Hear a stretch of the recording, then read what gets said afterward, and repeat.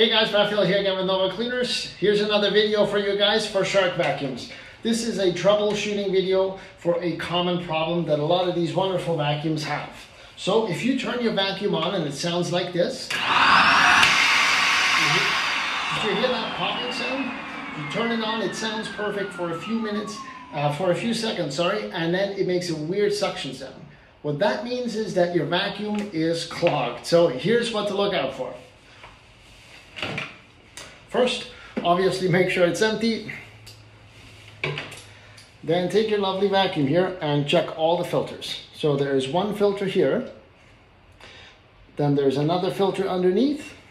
And then there's a filter here. But this really only gets clogged up. It's super, super heavy use if these up here are not properly maintained. But the biggest issue is even after you clean that, which I've already done to this machine here, it still sounds like this. So what the issue is with that means there is probably something, maybe a sock, maybe a cloth, something like that, that got sucked up in the vacuum. All right, here's what you do to get rid of that annoying clog in your vacuum. Simply take the top part of the hose,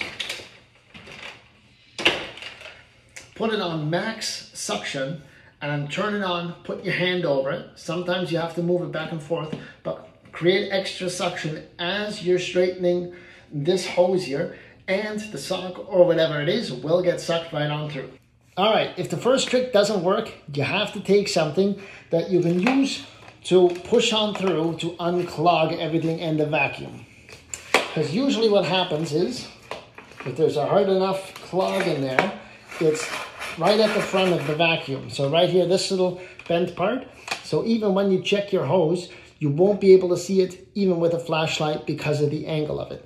So make sure to keep an eye out for that. All right, so here are three things that you can do to make sure you don't get future clogs as often. First thing, you gotta open your eyes.